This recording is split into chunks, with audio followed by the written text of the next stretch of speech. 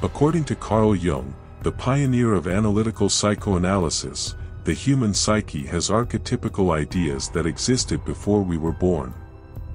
These are what form the foundation of personalities and human behavior. They influence our behavior, trigger emotions, and give us a sense of personal meaning. In this video, we will discuss the 12 spiritual archetypes that determine our spiritual development. The spiritual archetype refers to behavioral patterns that determine our emotional, psychological, and spiritual development. There are 12 spiritual archetypes. Let's take a closer look at each of these spiritual archetypes. Number 1, the Alchemist. The Alchemist is the wizard. This archetype loves change and transformation. In turn, they look forward to the possibilities and changes that the future holds. Alchemists seek spiritual unity, blessings, atonement, and alignment through the practice of rituals, spells, and ceremonies. Often, these rituals, spells, and ceremonies include the invocation of non-physical beings such as spirits and elemental forces through the careful arrangement, manipulation, or construction of physical objects. To an alchemist, service, sacred rites of passage, and everyday acts of faith aid in strengthening their connection to the divine. Number 2, the ascetic. Do you seek self-perfection, to the extent of foregoing material possessions? You could be the ascetic archetype. The ascetic is also known as the yogi in Eastern spiritual tradition. This spiritual archetype is dedicated to experimenting with, mastering, and obtaining higher states of consciousness. Also, the ascetic archetype pursues a spiritual journey characterized by the denial of bodily needs.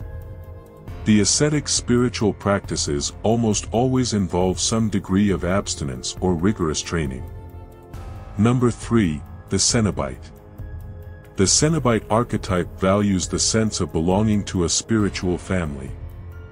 This personality derives their human connection when in the company of like-minded people. In turn, the Cenobite creates meetups and social communities with other persons that share their thoughts, objectives, and dreams. Due to their selfless nature, Cenobites have unconditional love for others. Still, in the absence of boundaries, this love may turn into unhealthy codependency. Moreover, Cenobites may also have the tendency to give in to mindless groupthink by allowing others to make their decisions. Conformity and the sacrificing of one's needs and dreams may also result in communal situations. Number 4, the devotee. Do you find yourself drawn to a spiritual journey characterized by devotion to a deity or spiritual figure? If so, your dominant personality is the devotee spiritual archetype. See, the devotee worships, commits to, and serves a god or goddess, Buddha, Jesus, the Holy Mother, or any other divine power. More so, the devotee prefers growing while under the guidance and support of an experienced spiritual teacher or mentor. Typical traits of a devotee include being receptive, passionate, trusting, open, determined, and humble. Number 5, the disciple. Anyone with a dominant disciple spiritual archetype is a natural learner. Such persons thrive under the guidance of a spiritual leader by listening and learning from them. Usually, disciples are loyal and passionate supporters of a single teacher, ideal, creed, doctrine, or religious teaching.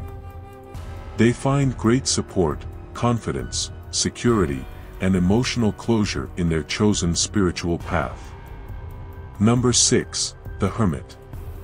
Are you a loner? The Hermit spiritual archetype prefers solitude.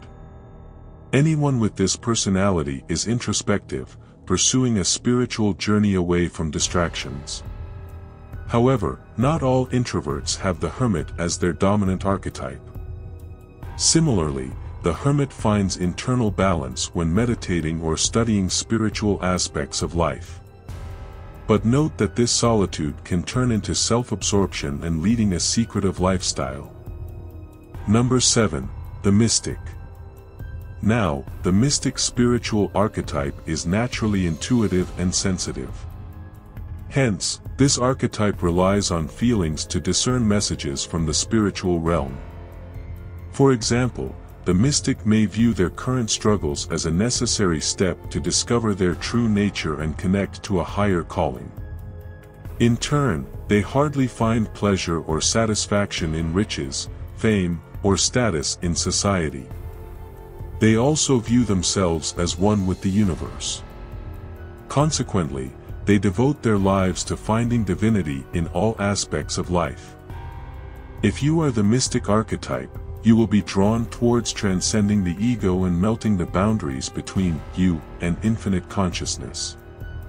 To you, the ultimate achievement in life is the unio mystica, the spiritual marriage between the self and the soul.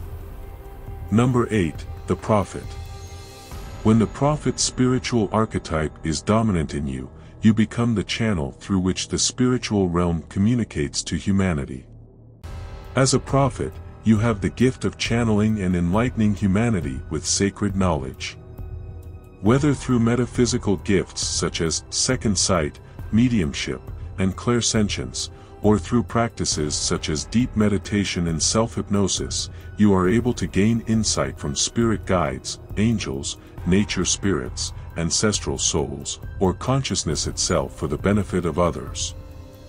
In this world, you serve as a vessel or open channel through which wise, profound, predictive, and crucial guidance can be accessed. Number 9. The Rebel the rebel spiritual archetype is a truth seeker. Anyone with this personality trait uses their insight to sieve through ideologies, illusions, and myths. That way, they tell apart the truth from misconceptions. Also, the rebel archetype leads a lifestyle detached from any misleading spiritual concepts. Your ability to see through, challenge, reject, uproot, and expose limiting beliefs, traditions, and ways of life make you a powerful force of change in the world. Spiritually, your ability to see the truth is what endows you with immense wisdom and sacred understanding so often lacked by others. Your desire to reveal the truth at all costs is what makes you so loved and, at the same time, so feared by others. Number 10. The Sage the sage spiritual archetype is a knowledge seeker, a philosopher at heart who seeks to understand and teach the mysteries of existence. Anyone with this archetype invests most of their lifetime to study sacred texts, quotes from spiritual teachers, or any other material that will deepen their connection with the divine. More so, these individuals can articulate their wealth of knowledge to others, either in writing or by speaking. Eventually, as a wise philosopher, the sage takes up the role of a spiritual guide or teacher in spiritual communities. Number 11. The Saint. The saint's spiritual archetype has great compassion for humanity. This archetype views all life forms as sacred and needs to be preserved. As a result, they engage in benevolent causes like giving to charity, looking after endangered animals, or advocating for the rights of the needy and vulnerable in society. The saint archetype values action as the highest form of love. Dogma and spiritual theories mean nothing to the saint if they can't be backed by loving action. Number 12. The Shaman. Finally, the shaman spiritual archetype is a healer and a gifted storyteller. The shaman archetype is also known as a medicine man slash woman or a healer. This spiritual archetype helps other people heal on a soul level. If you are the shaman archetype, you feel the most spiritually fulfilled when you're helping others find health and wholeness again.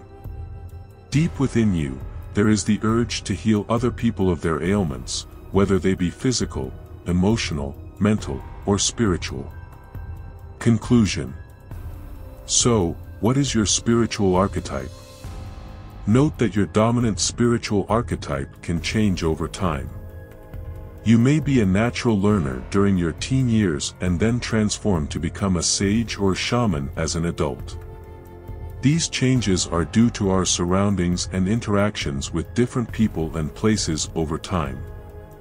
I hope you like this video, subscribe for more such videos. Thanks for watching.